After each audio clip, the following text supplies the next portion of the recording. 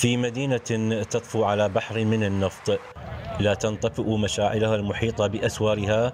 تزداد فيها ساعات انطفاء التيار الكهربائي بالتزامن مع الارتفاع الكبير لدرجات الحرارة التي تفوق نصف درجة الغليان فضلا عن ارتفاع نسبة الرطوبة. البصرة تعطي ملايين البراميل من النفط وكذلك المنافذ الحدودية ولكن للأسف الشديد يبدو أن أزمة الكهرباء لن تحل لحد هذه اللحظة. في عام 21 وقد تم صرف الأموال على وزارة الكهرباء أكثر من 80 مليون دولار ولكن للأسف لحد هذه اللحظة ونحن في سنتر البصرة الكهرباء مقطوعة. وإضافة إلى ارتفاع درجات الحرارة. الجنوب هي مصدر الثروات والبصرة هي خامس دولة يا ناس.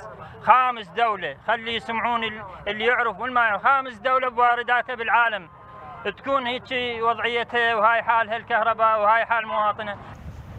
التراجع الكبير بتجهيز الطاقة الكهربائية دفع الأهالي إلى تنظيم وقفات احتجاجية كخطوات تصعيدية تهدد بالعودة إلى التظاهرات العارمة التي شهدتها البصرة في العام 2018 وما بعده.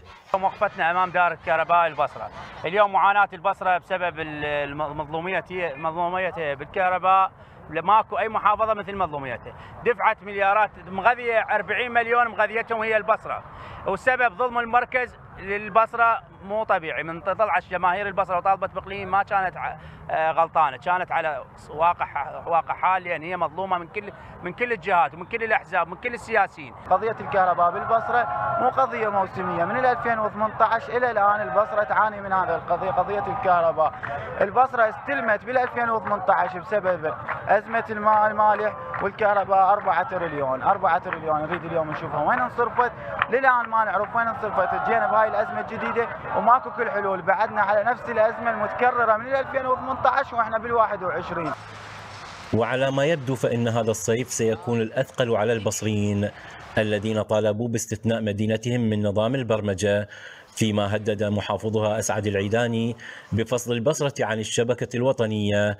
إذا ما استمر الحال على ما هو عليه الآن لقناة زاكروس الفضائية ستار المنصوري البصرة.